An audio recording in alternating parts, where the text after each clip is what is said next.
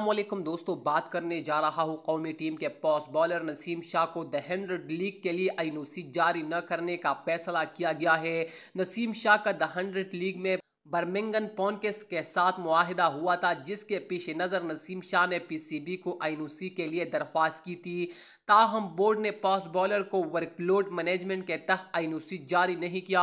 दोस्तों, बताया गया है कि नसीम शाह गुजशत साल फिटनेस मसाइल से दो चार हुई। अब चुनके वर्ल्ड टेस्ट चैंपियनशिप के अहम मैचेस है और वो तीनों पार्मेट के क्रिकेटर है, इसलिए इंजरीज से महफूज रखने के लिए इख्तियाती तदाबीर के तौर पर आईनूसी की दरख्वास्त मुस्तरद की गई। जिससे क्रिकेटर को आगाह किया गया है। वाजह रहे कि Naseem Shah the hundred league में एक लाख पच्चीस हज़ार पाउंड के महँगी तरीन कैटेगरी में शामिल थे। इस हिसाब से इनका मुआवजा पाकिस्तानी रुपए में लगभग साढ़े चार करोड़ रुपए बनता है। नसीम शाह को चार करोड़ मुआवजा वाला द हंड्रेड लीग के लिए आईनूसी नहीं मिला। इस दोस्तों, ये थी ताज़ा तरीन खबर जो मैंने आपके साथ शेयर किया।